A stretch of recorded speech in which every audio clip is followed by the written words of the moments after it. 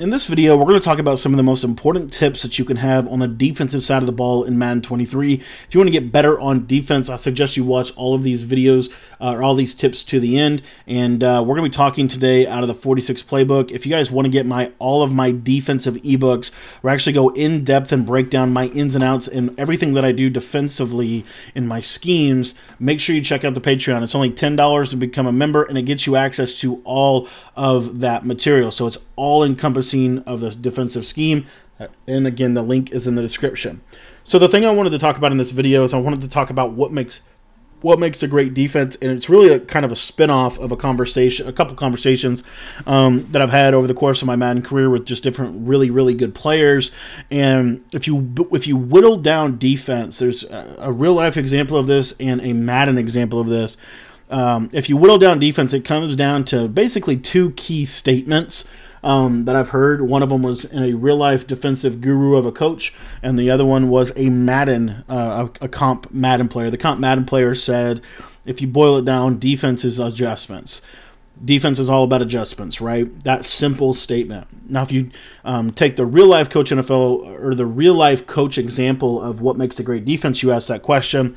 This defensive guru of a coach, he actually came back and he said the biggest key to defense is knowing how to fix your defense and these are kind of saying the same basic thing.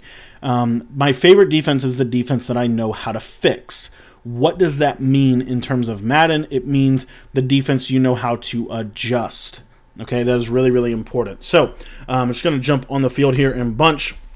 I'm going to talk about one of my favorite defenses in the game, which is the Nickel 3-3 Cub. You can get this entire defensive ebook on the Patreon for just $10. It gets you everything on the Patreon site, over 20 offensive and defensive ebooks. The only audible we're going to set is Cover 4 Show 2. We're going to come out with our zone coverage on match. And the other key to this is we're going to come out in the Nickel 3-3 formation because it's going to allow us to get the best personnel on the field uh, for this defense.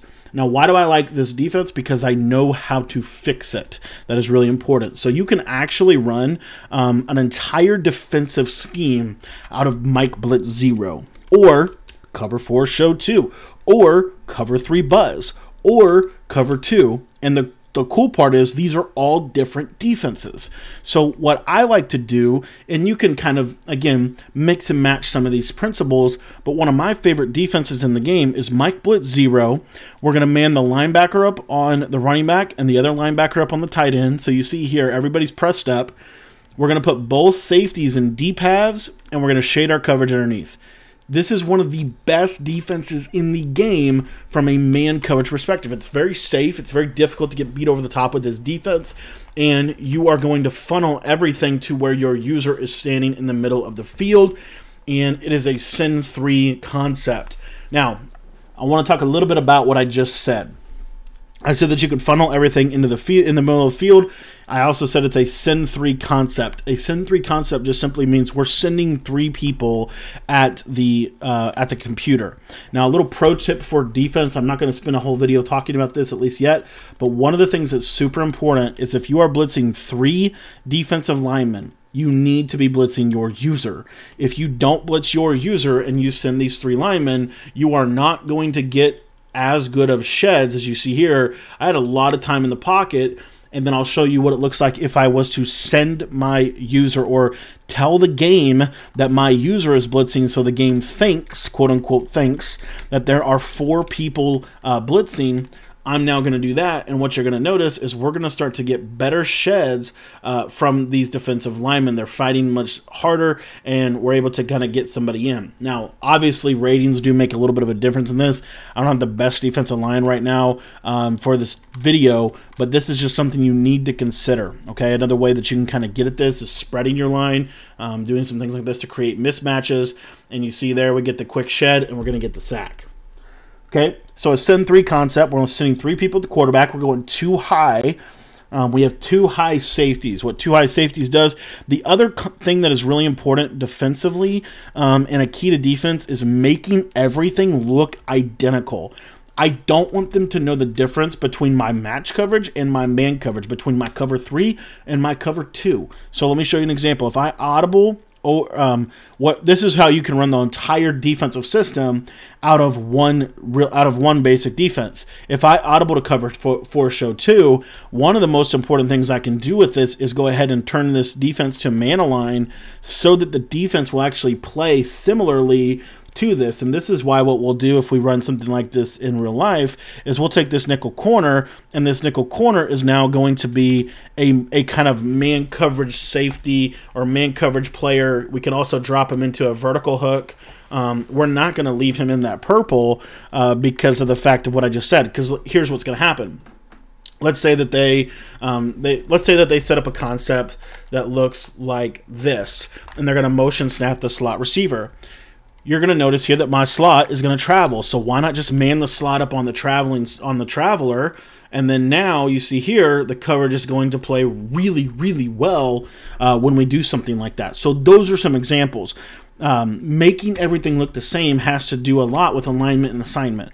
Three of the biggest keys to defense I learned from a, a coach who said if I could boil defense down to three things, it's alignment slash assignment, it's tackling, and it's running to the football simplify your defense. You can be a very good cover three team. You can be a very good cover two team. You can be a very good cover four team. You can do all of the things out of a man coverage, right? Because for man coverage, I can adjust.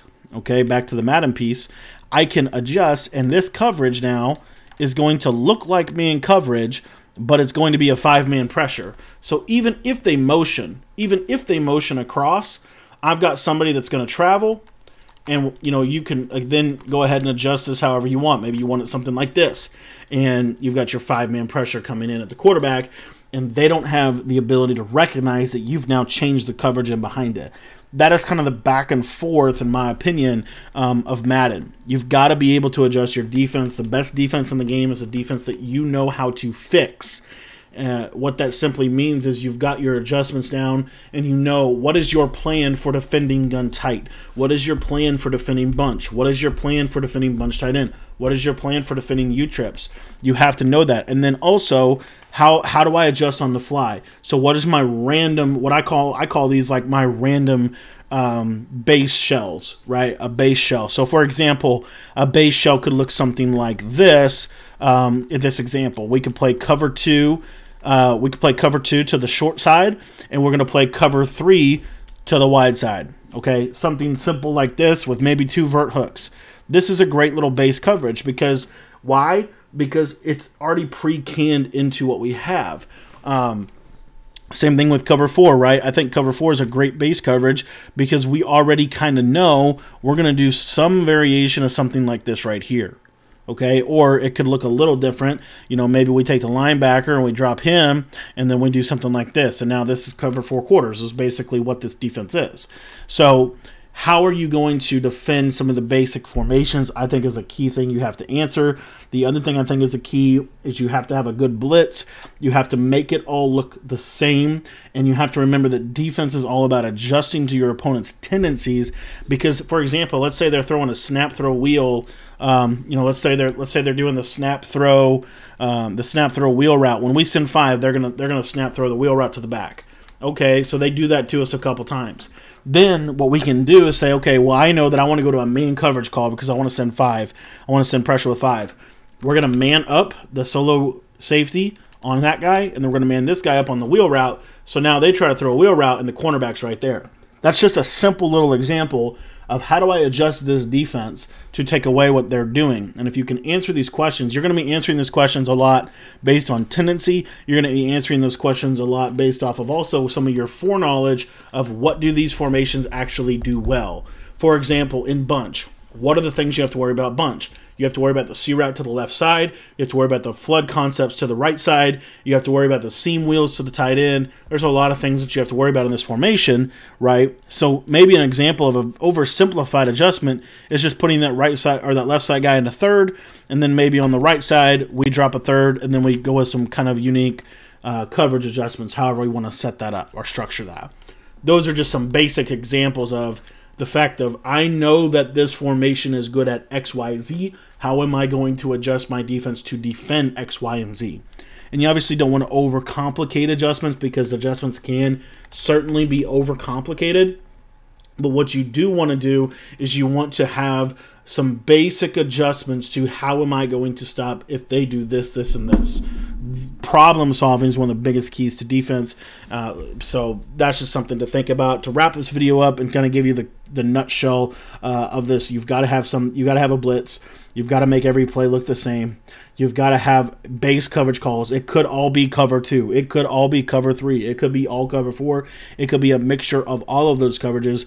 But what is your base defense? And you, in all of these things, have to know how to fix your defense. If you want to learn how I run defense, check out the Patreon in the description below. 10 bucks gets you access to all of my Madden 23 offensive and defensive ebooks.